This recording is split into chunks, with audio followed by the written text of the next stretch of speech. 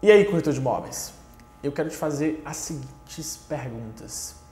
Imagina se há alguns anos atrás você chegasse para o seu bisavô e falasse que ele poderia pegar, um, entrar numa máquina onde ele, em uma hora, ele sairia, por exemplo, de Salvador e iria para São Paulo, tá? Será que ele iria acreditar nisso? Acho que não. E hoje a gente tem o chamado avião, que é uma tecnologia nova. Nova não, né? Todo mundo anda de avião aí há muito tempo.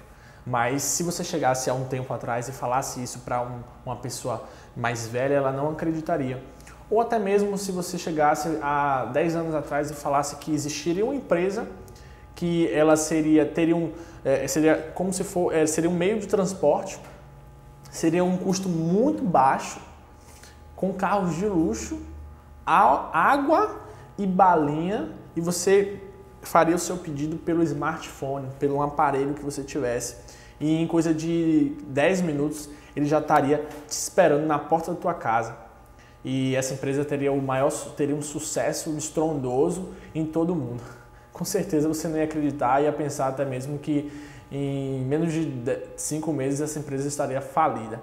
Mas é isso que eu quero te levar a pensar aqui hoje muitas das vezes é, a gente tem um exemplo na nossa mente, no nosso contexto de vida, de negócios que dão certo e de coisas que funcionam.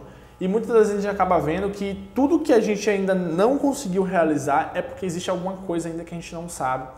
E muitas das vezes, se você olhar aí, há uns anos atrás, por exemplo, há pouco tempo a gente conseguiu desenvolver uma impressora que imprime em 3D. Você tem até um exemplo de um carro impresso em 3D que a pessoa entra nesse carro e anda em cerca de 80 km por hora.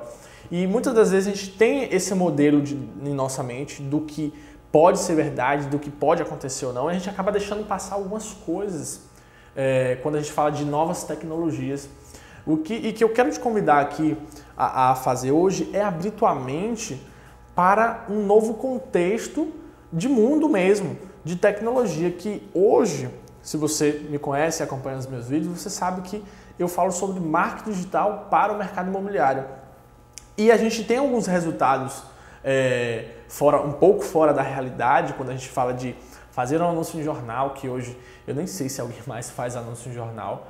E até que na minha cidade a gente tem um jornal que hoje ele criou um aplicativo porque ele começou a observar que o jornal, só o jornal não dá resultado e as pessoas estão saindo disso. Então ele criou, criou um, um aplicativo para fazer em paralelo, assim que você coloca no jornal, coloca também nesse aplicativo, porque hoje tudo é digital e a maioria dos clientes hoje eles passam pela internet antes mesmo de chegar ao salão de venda.